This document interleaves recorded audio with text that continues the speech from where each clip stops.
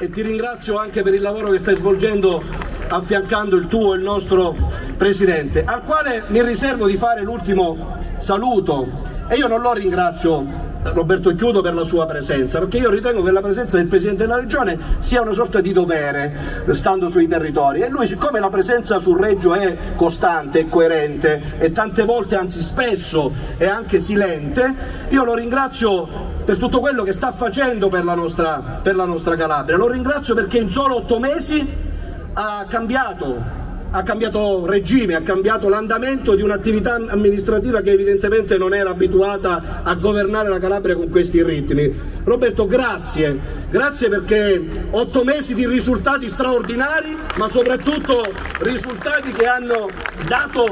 segnali di discontinuità con un recente passato che è quello di Oliverio del Partito Democratico, con i consiglieri regionali del Partito Democratico che si candidano e vengono ancora a Reggio a chiedere i voti anche per, per le politiche. Risultati che potrei snocciolare uno per uno, ma non lo faccio per questioni di tempo, ma se pensassi soltanto al fatto che in solo sette mesi appena insediatosi solo alla provincia di Reggio Calabria sono, destinati, sono state destinate tantissime risorse. E allora come non pensare ai 20 milioni della San Roberto Campocalabro, ne parlava il PD da oltre 20 anni, come non pensare ai 20 milioni di euro della, del tracciato veloce Sant'Agata Cardeto che appunto anche il PD quante promesse elettorali eh, insomma hanno consumato per quelle, per quelle infrastrutture, come non pensare a quello che per noi rappresenta diciamo, il santuario più importante, io credo che sia il più importante della Calabria, forse anche tra i santuari più importanti, pieni di significato, mi riferisco al santuario di Polzi,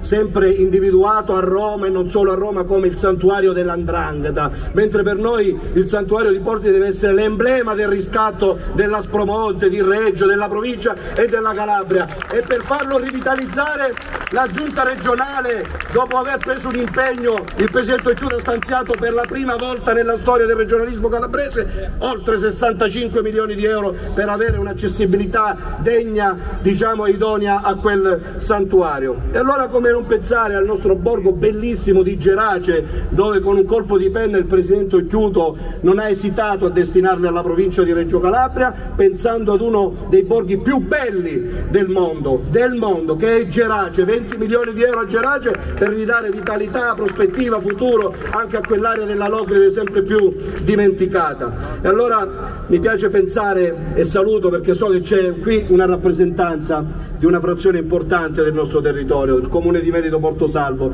che da oltre tre anni sono rilegati, rilegati a causa di una non agibilità della via principale d'accesso. Quando ho sottoposto al Presidente Occhiuto questo disagio sociale, culturale e anche infrastrutturale perché i bambini rischiano la vita per andare a scuola da quella frazione, non ha esitato di portare in giunta per deliberare direttamente dalla giunta regionale 800 mila euro che serviranno a ridare dignità a quella frazione perché la giunta regionale che pensa anche solo ad una piccola frazione è un segnale forte di cambiamento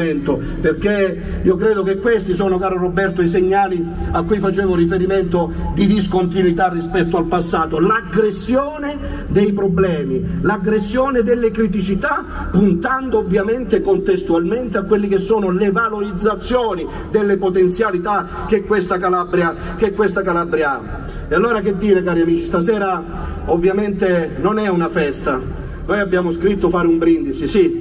lo faremo in sordina eh, quando finiremo questo momento così di riflessione ad alta voce, ma noi non dobbiamo brindare a Cannizzaro che ha vinto le elezioni, piuttosto che a Forza Italia che stasera ha organizzato con tutti i suoi dirigenti questa manifestazione. Il brindisi simbolico è rivolto a Reggio, alla provincia e alla Calabria per dare un auspicio di riscatto di Reggio della Calabria. E se è vero come è vero che già anche a Roma si percepisce una sorta di cambio della Calabria, siamo considerati in maniera assolutamente diversa rispetto all'autorevolezza di chi in questo momento governa la regione, con a capo il Presidente, ma anche con una giunta funzionale, efficace, qualificata e da tanti consiglieri regionali che sul piano legislativo supportano l'azione del governo della regione. Ecco quello che mancava alla Calabria e che per decenni evidentemente non ha avuto, una sorta di sinergia, funzionalità, voglia di riscatto dall'Assemblea legislativa amministrativa, all'esecutivo, ai sindaci. Persino i sindaci del Partito Democratico ci hanno votato non per Cannizzaro, per simpatia a Cannizzaro, ma per la credibilità che in solo otto mesi, nove mesi questa giunta regionale è riuscita ad avere e ad acquisire, perché la politica tutta, di destra e di sinistra, ha perso la credibilità e chi come me fa politica tutti i giorni, 20 ore al giorno e la mia famiglia lo sa e a proposito di famiglia la voglio salutare, non lo faccio mai, non lo faccio mai, la mia famiglia, grazie ai miei genitori, alle mie sorelle, ai miei nipoti, a Gaia e Emilio che non mi hanno potuto votare però mi hanno, mi hanno fatto la campagna elettorale. Sapete bene